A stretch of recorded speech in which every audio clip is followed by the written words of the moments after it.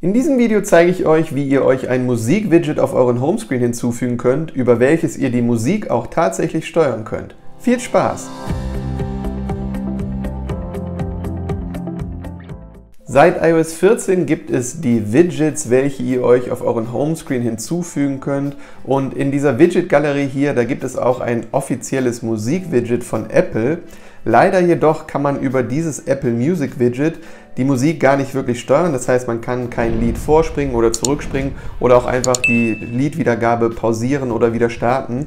Denn ihr seht, selbst in den größeren Formaten dieses Widgets habt ihr hier einfach nur eine Anzeige des gerade abgespielten Songs inklusive des Covers. Ich zeige euch jetzt aber ein neues Musik-Widget, mit dem ihr genau das machen könnt, nämlich eure Musik auch wirklich steuern.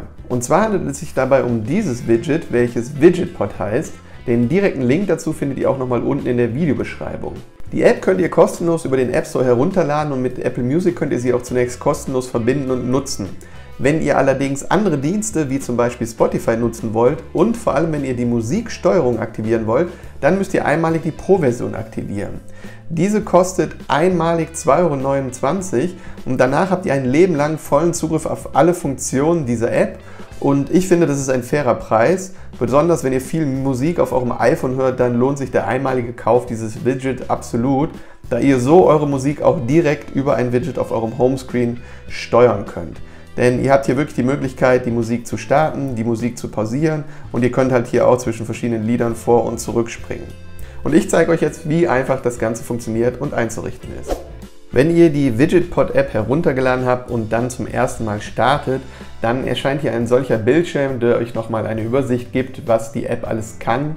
Und im zweiten Schritt, wenn wir hier auf Continue tippen, dann müssen wir jetzt hier einmal den Musikplayer verbinden. Ihr seht, wie gesagt, kann ich Apple Music kostenlos verbinden. Dafür tippe ich hier einfach drauf und dann muss ich der App einmal Zugriff auf meine Apple Music Datenbank geben, indem ich hier einfach auf OK tippe und das war schon. Jetzt tippe ich hier auf Continue und dann komme ich hier zu diesem Startbildschirm der App.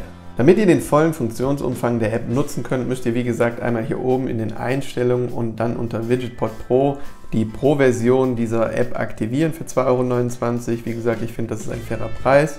Und danach habt ihr hier die vollen Möglichkeiten. Um jetzt ein Widget anzulegen, müsst ihr einmal hier oben auf das Plus tippen und dann habt ihr die Auswahl zwischen Small und Medium. Allerdings bietet nur Medium später auch die Möglichkeit, hier diese Steuerelemente anzuzeigen. Hier habt ihr jetzt die Möglichkeit, das Ganze optisch ein bisschen anzupassen. Ihr könnt zum Beispiel sagen, ob ihr ein Light Theme oder ein Dark Theme aktivieren wollt oder ob dieser sich abhängig vom System äh, einstellen soll. Das heißt, wenn sich auf eurem iPhone der Dark Mode aktiviert, wird das hier automatisch in der App auch passieren und umgekehrt. Das macht, denke ich, am meisten Sinn. Außerdem könnt ihr hier noch verschiedene Farben auswählen. Ihr könnt auch sagen, was passieren soll, wenn man das Widget antippt, zum Beispiel, dass ihr hier in diese Einstellungsseite kommt oder was ich euch empfehlen würde, ist hier Open Full Player auszuwählen, denn dann öffnet ihr durch Tippen hier auf das Widget einen großen Player, ähnlich wie Apple Music. Außerdem könnt ihr dann hier noch verschiedene Sachen einstellen, zum Beispiel, dass diese Musiknote hier oben rechts verschwindet, äh, dass hier die Playback Controls ein- und ausgeblendet werden. Wir wollen diese ja nutzen.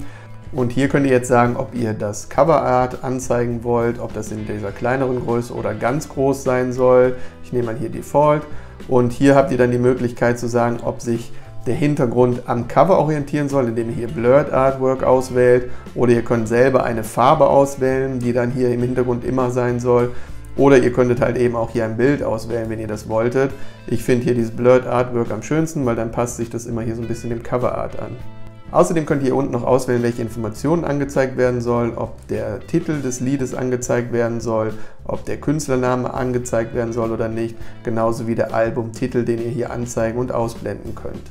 Und wenn ihr das Widget fertig konfiguriert habt, dann könnt ihr das einfach so hier nach unten wischen und dann seht ihr das hier in der kleinen Vorschau. Und jetzt seid ihr hier in der App WidgetPod auch erstmal fertig.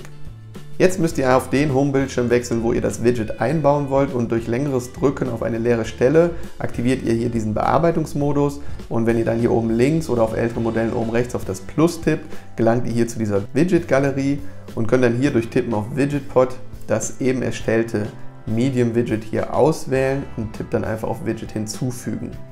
Jetzt müsst ihr noch einmal hier drauf tippen und unter Setup geht ihr auf Auswählen und wählt dann das eben erstellte Medium-Widget aus tippt hier in den leeren Bereich und könnt dann hier auf Fertig tippen.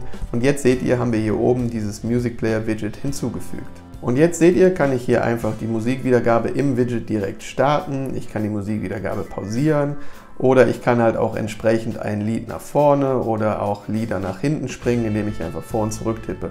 Also ihr habt hier die volle normale Musikkontrolle über dieses Widget direkt. Eben habe ich auch eingestellt, dass wenn ich dann auf das Widget einmal drauf tippe, sich hier dieser große Player öffnet. Der sieht dann ähnlich aus wie Apple Music. Und hier habt ihr auch die Möglichkeit dann vorzuspulen, indem ihr hier das Ganze bewegt oder ihr könnt ja auch die Lautstärke direkt hoch und runter stellen. Falls bei euch das Widget auch so immer kurz aufspringt, wie ihr das hier bei mir seht, dann liegt das daran, dass Apple eigentlich für Widgets es nicht erlaubt, dass diese sich in Echtzeit aktualisieren und somit eigentlich auch nicht für so einen Music Player geeignet wären. Der Entwickler der App hat das aber ganz raffiniert umgangen, indem er immer ganz kurz die App öffnet und dann wieder ausblendet. Und das ist halt das, was ihr hier immer so ganz kurz seht.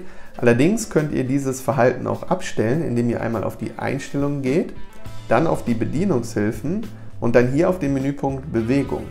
Und wenn ihr jetzt hier die Option Bewegung reduzieren einschaltet, dann werdet ihr sehen, dass dieses Hin- und Herspringen bei dem Widget nicht mehr passiert. Wenn ich jetzt hier einfach mal vortippe, seht ihr, wechselt das alles hier in diesem Widget, ohne dass da groß etwas hin und her springt. Man sieht ab und zu noch mal kurz etwas aufblitzen manchmal, aber ansonsten verhält sich das hier wirklich wie ein schöner Musikplayer, in dem ihr die Musik steuern könnt. Ihr könnt hier, wie gesagt, Start-Stop drücken, vor- und zurückspulen und habt hier ein vollwertiges Music Player Widget für euer iOS 14. In den Haupteinstellungen der App habt ihr dann übrigens auch noch weitere Möglichkeiten, das Ganze zu konfigurieren. Hier könnt ihr auch das App-Icon an sich anpassen oder ihr könnt hier die iCloud-Synchronisation aktivieren und genauso könnt ihr hier zum Beispiel auch Spotify verbinden, wenn ihr Spotify über dieses Musik-Widget nutzen wollt. Spielt also einfach mal mit diesem Widget-Pod herum. Ich finde, der Preis von 2,29 Euro lohnt sich auf jeden Fall, denn ihr erhaltet danach wirklich hier ein vollwertiges Widget, über das ihr eure Musik direkt auf eurem Homescreen steuern könnt. Falls euch dieses Video gefallen hat, dann gebt ihm doch gerne einen Daumen nach oben. Abonniert am besten gleich hier unter dem Video kostenlos unseren Kanal und aktiviert die Glocke, damit ihr auch in Zukunft kein iPhone Tricks Video von uns mehr verpasst. Ansonsten sage ich vielen Dank fürs Zuschauen und bis zum nächsten Mal.